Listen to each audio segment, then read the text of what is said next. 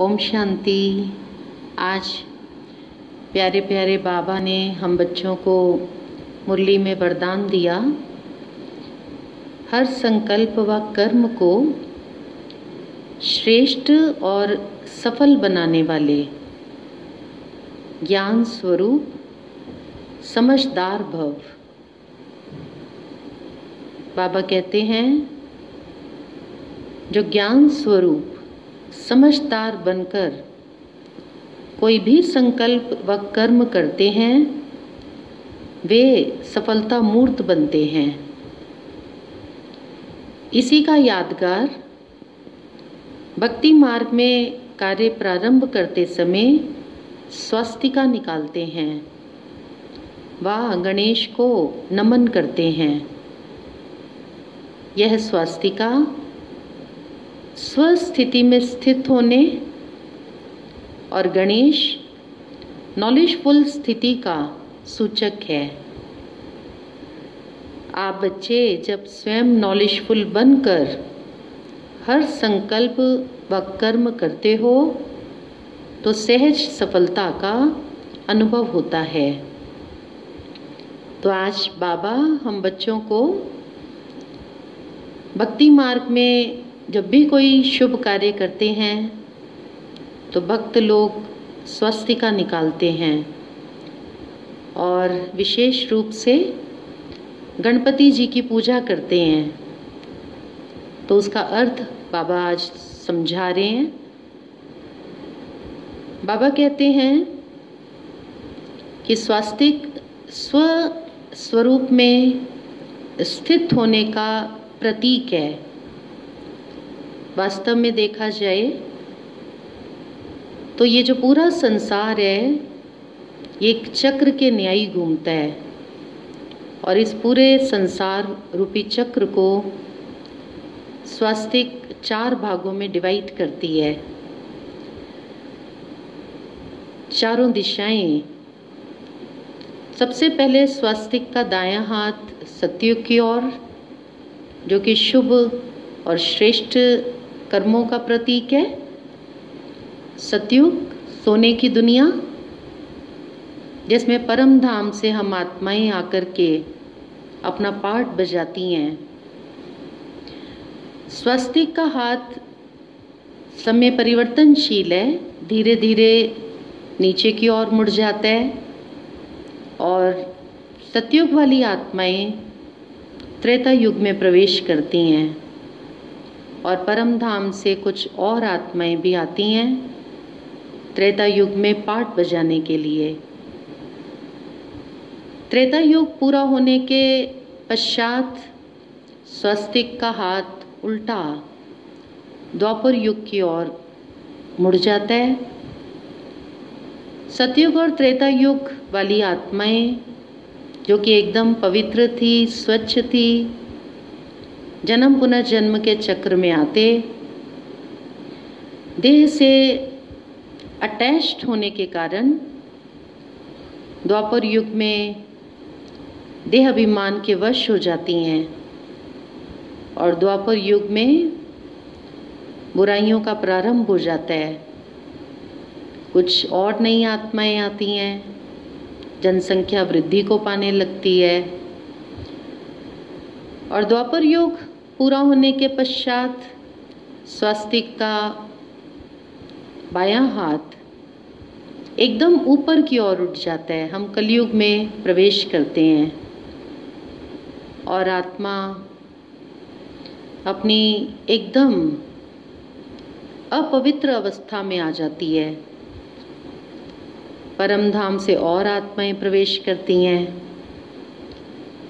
और कलयुग में सभी आत्माएँ सतयुग वाली त्रेता युग वाली द्वापर युग वाली और जो नई नई आत्माएँ कलयुग में भी आ रही हैं, वो आत्माएँ भी थोड़े ही समय में देह अभिमान के वश हो जाती हैं और देह अहंकार, देह अभिमान पाँच विकारों को जन्म देता है।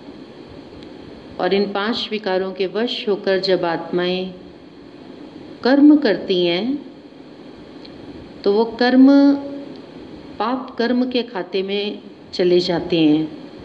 और पाप कर्म के परिणाम स्वरूप सब संसार की आत्माएँ आज दुख और अशांति का अपने जीवन में अनुभव कर रही हैं। ऐसे समय पर परम पिता परमात्मा, जो कि कल्याणकारी हैं। परम धाम से सृष्टि पर आते हैं और वो आकर के हमें इस बात की स्मृति दिलाते हैं कि बच्चे देह अभिमान छोड़ो और आत्मिक स्मृति में स्थित हो जाओ। आत्मिक स्मृति का अभ्यास करो। आत्मा के मूल गुणों का आप स्वयं में अनुभव करो। ये स्वास्तिका जो संसार को चार भागों में बांट रही है, स्वास्तिक का अर्थ ही है शुभ, मंगलकारी, कल्याणकारी।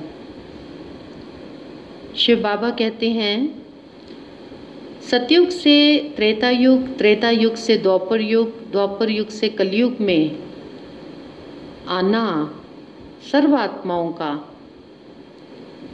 उसमें कल्याण है। ये संसार ड्रामा बहुत खूबसूरत बना हुआ है। हम आत्माएँ अगर अपवित्र ना हो देह अभिमान के वश ना हो पाँच विकार इस संसार में व्याप्त ना हो तो वो परम शक्ति परमात्मा के आने का कोई महत्व ही नहीं रह जाता। तो ये संसार का खेल बहुत सुंदर बना हुआ है। तो कलयुग के अंत में जो इस सृष्टि ड्रामा के डायरेक्टर हैं, क्रिएटर हैं मुख्य एक्टर हैं शिव बाबा। वो स्वयं आते हैं और हमें आत्मस्वरूप में स्थित होने का ज्ञान देते हैं। जितना जितना हम आत्मस्मृति का अभ्यास बढ़ाते जाते हैं, आत्मा अपनी उस मूल अवस्था में, जिस स्थिति में वो परम धाम से सतयुग में आई थी उस अवस्था को पुनः प्राप्त कर लेती है। और गणपति, आज शिव बाबा ने कहा कि वो नॉलेज के प्रतीक हैं भक्ति मार्ग में। गणपति जी की दो पत्नियाँ दिखाई गई हैं, विधि और सिद्धि। जब हम किसी भी कार्य को विधि पूर्वक करते हैं और किसी भी कार्य को विधि पूर्वक करने के लिए ज्ञान की आवश्यकता है। तो हम शिव बाबा के पुत्र और पुत्रियाँ हैं। हमारा ही यादगार भक्ति मार्ग में गणपति जी के रूप में चला आ रहा है। परमपिता परमात्मा शिव स्वयं संगम युग पर आकर हमारे पुराने संस्कारों का नॉलेज से और योग से विनाश कराते हैं, हमें नॉलेज देते हैं। जिस नॉलेज को बुद्धि में रखकर विधि पूर्वक जब हम कर्म करते हैं, हमें सफलता अवश्य प्राप्त होती है। तो नॉलेजफुल आत्मा सदैव अपने जीवन के भूतकाल, उसका जो पास्ट बीत चुका है, उसके अनुभवों को बुद्धि में रखकर संकल्प करेंगे और कर्म करेंगे और भविष्य उसके क्या परिणाम निकलेंगे उस संकल्प या उस कर्म के, उसको भी बुद्धि में रखते हुए वर्तमान में वो संकल्प या कर्म करेंगे। अर्थात वो दूरांदेशी होंगे। और जितना जितना दूरांदेशी होकर के संकल्प और कर्म करेंगे, उससे उनको हर कर्म में सफलता अवश्य प्राप्त होगी। तो परमात्मा शिव बाबा, हमको तीनों कालों का ज्ञान देकर मास्टर त्रिकालदर्शी बनाते हैं। तो ऐसे मास्टर त्रिकालदर्शी बच्चे, उनका संकल्प और कर्म सदैव श्रेष्ठ होता है। और उनको स्वतः उनके संकल्प और कर्म के अनुसार सफलता प्राप्त होती रहती है।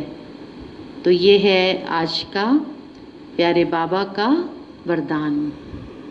ओम शांति।